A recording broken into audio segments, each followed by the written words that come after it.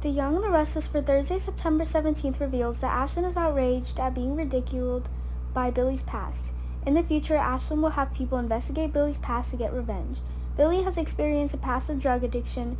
Ashland and Billy will face off against each other. Ashland's confessions at the farm. Ashland Locke will tell the story of changing his name and moving to many places to avoid his father's abuse. Ashland's emotions choke when he recalls his bad past. After Ashland was out of breath and had to sit down, Victoria Newman would admit how stressful this must be. All the secrets Victoria wants to tell only to Victoria, she hopes that he can understand his feelings. Ashland revealed his parents' identities to Victoria and he himself had long since left them. Ashland would argue that his parents didn't deserve any part of his success, so he never cared what happened to them. After how long, since the day he left home, he never called or contacted his mother. That's why now I don't know if they're alive or dead. Maybe Victoria would urge Ashland to find her family. Ashland finally decided to try contacting his mother.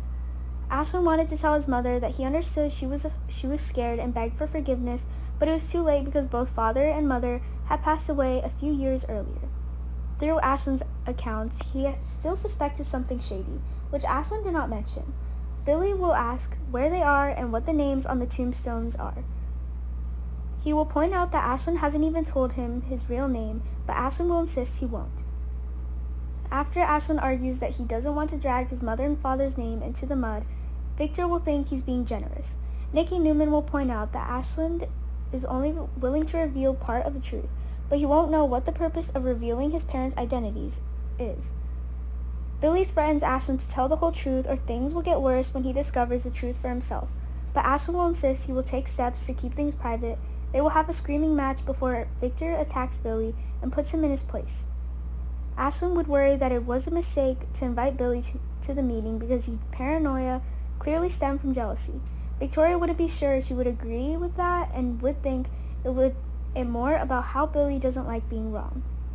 Victoria would suggest that Billy just keep flipping the rocks until he discovers something that he thinks proves him right again.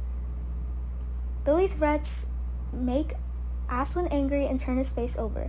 Ashland will think it's an addict's behavior, so Victoria will admit that she knows because that's what's keeping Billy gambling all these years. Past year, everyone had a bad past, so let it rest in peace. When Ashland decides to correct the mistake in her invitation with the face-to-face meeting, Victoria would advise against doing so.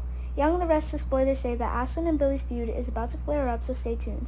The Winer channel will have lots of Young and the Restless news, updates, and other great news to check out, so visit often.